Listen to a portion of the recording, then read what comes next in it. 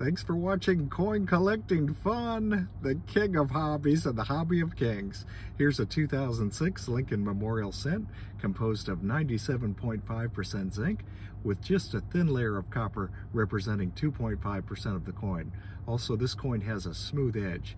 We see In God We Trust at top, Abraham Lincoln in the center of the coin facing right.